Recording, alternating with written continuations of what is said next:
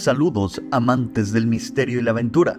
Hoy exploraremos una de las maravillas más inquietantes del mundo, la Puerta del Infierno, ubicada en Turkmenistán.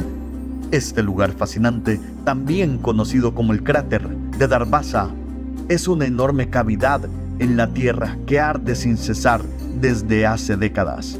Imaginen un pozo ardiente, una boca del infierno que parece desafiar las leyes de la naturaleza. Pero ¿cómo se originó esta misteriosa puerta al infierno?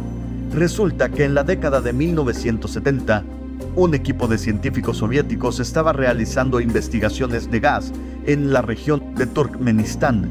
Durante sus trabajos se encontraron con una caverna subterránea llena de gas natural para evitar que se liberara el gas tóxico, decidieron prenderle fuego y esperar a que se consumiera unos días. Sin embargo, más de cuatro décadas después, el fuego sigue ardiendo, generando un espectáculo cautivador y aterrador a la vez. Pero aquí no termina la historia intrigante de la puerta al infierno. A lo largo de los años, este lugar se ha convertido en un punto de interés para esotéricos y curiosos. Se han tejido numerosas historias y mitos en torno a este cráter ardiente. Algunos creen que la puerta al infierno es un portal bidimensional o una entrada a otro mundo.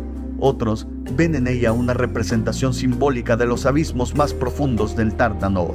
Sea cual sea la interpretación, en este lugar nos despierta la imaginación y la reflexión sobre los misterios de la vida y la muerte.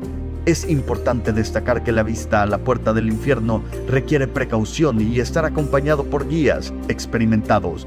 Las condiciones extremas y los gases tóxicos hacen de este lugar un entorno peligroso.